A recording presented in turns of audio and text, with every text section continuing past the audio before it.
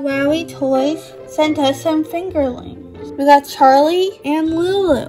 One is a baby monkey and one is baby unicorn. Gives you kisses. I mean, I'm fuzzy with. I move and react to you. My heart beats. Flip me and swing me. I love to monkey around. And I speak cute unicorn bowel.